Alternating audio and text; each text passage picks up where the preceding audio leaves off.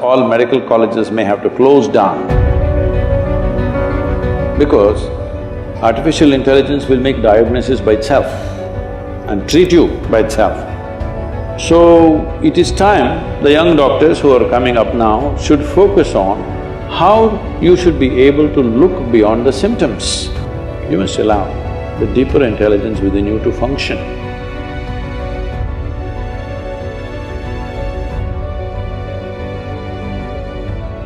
The antibiotic resistance is increasing day by day and uh, Ayurvedic practices are declining day by day. So, how do we create a perfect amalgamation between the practices of Ayurveda and allopathy?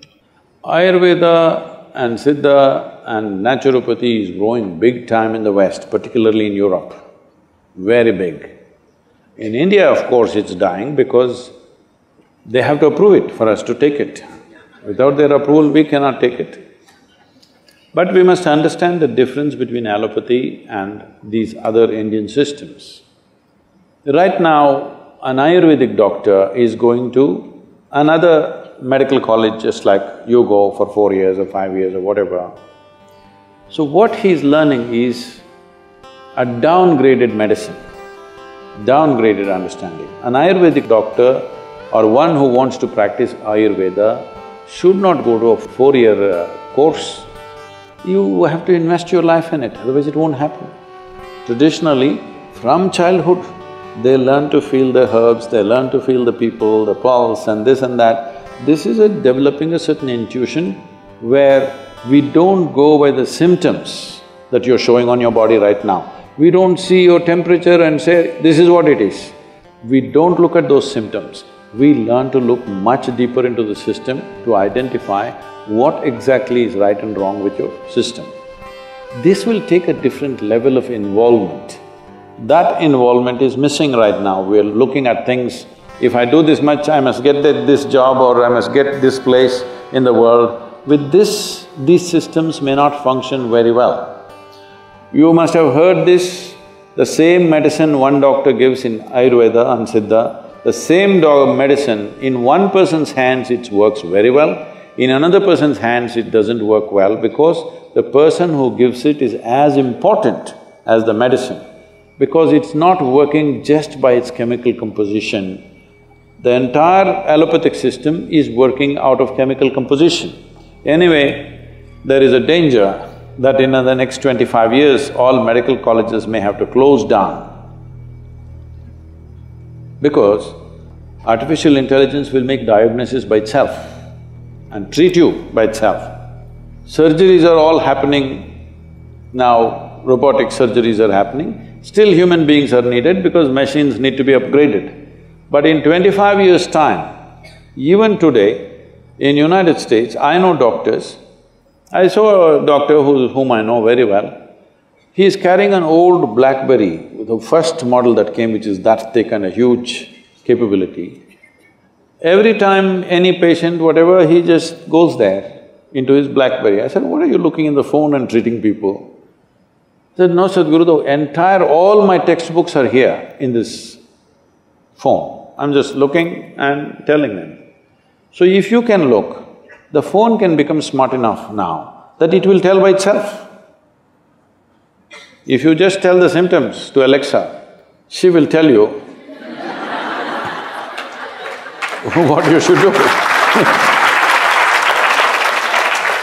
so, this form of symptomatic treatment may become irrelevant after some time because you're just gathering data and processing it and giving an answer.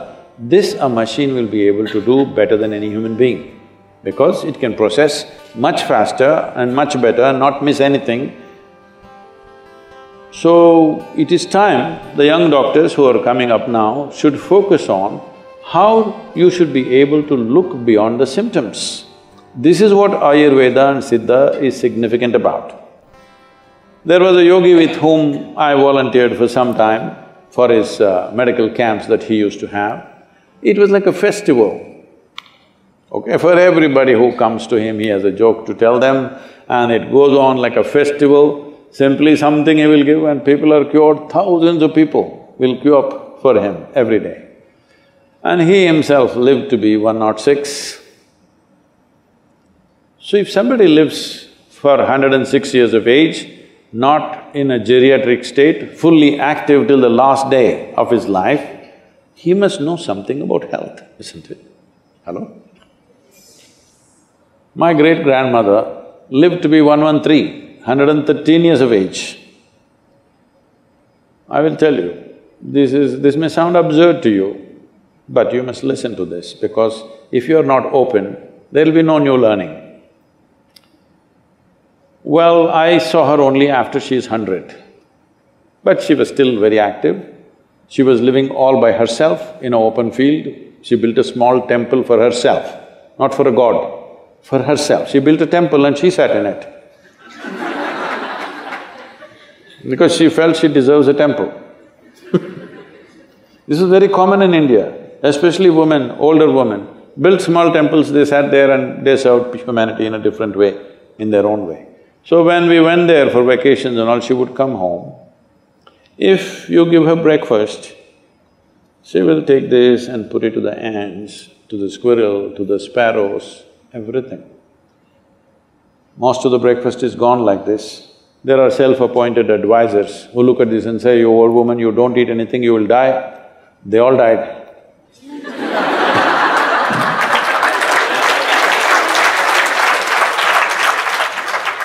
And she will simply sit there looking at these sparrows and ants eating, simply tears would be rolling from her eyes.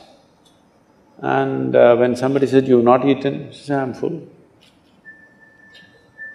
I thought she was very emotional about the ants because I was just four or five years of age. I was going stamping the ants, chut, chut, chut. The best thing is she never stopped me. She never said, don't do that. She knew she's doing what she has to do for the ants, ants are doing what they should do for their life, I am as a child doing what I have to do as a child. When I sometimes saw her like this and I asked, what is this happening to you? She would just laugh loudly and she would say, someday you will know. It took me over twenty-five years to know this, that your life is not nourished hundred percent by the food that you consume and things that you do. Life is a bigger phenomena than what you think in your head, much larger. Before you came, this cosmos was there, everything was working. After you and me are gone, still it'll be fine, isn't it? There is an intelligence beyond you. Don't immediately quantify it as God, this, that, because you're making a conclusion about things that you do not know. If you stay here, this is very important. If you live here, clearly knowing you don't know a damn thing about anything, your intelligence will remain alert to everything.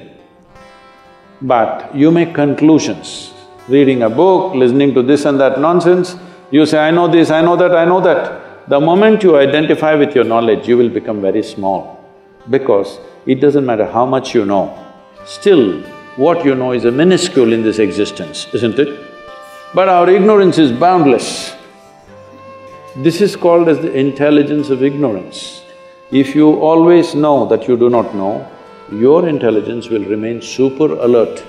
Whether your body is awake or asleep, it will remain super alert.